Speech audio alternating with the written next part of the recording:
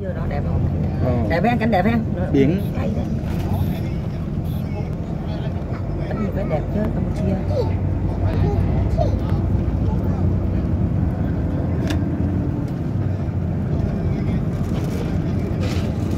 không bỏ lỡ những video hấp dẫn